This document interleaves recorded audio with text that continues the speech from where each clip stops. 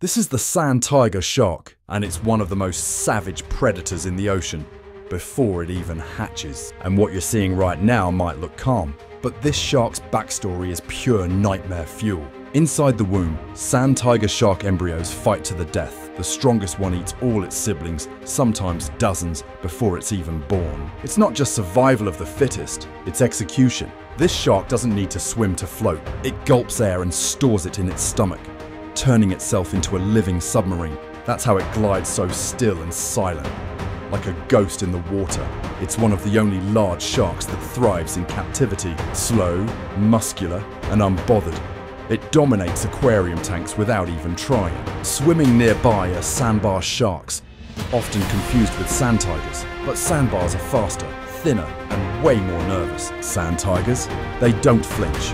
They own the water. At night, sand tiger sharks go full predator. They prowl in total darkness using electroreception to detect tiny muscle movements. Lights off, it's game on. But here's the real question. Which shark is the most dangerous to humans? It's not the biggest, not the fastest, and it might just be the one you've actually swum near before. Smash like if you learned something new, and drop a comment if you've ever seen a shark this close. Want to know which shark actually attacks the most? Stick around.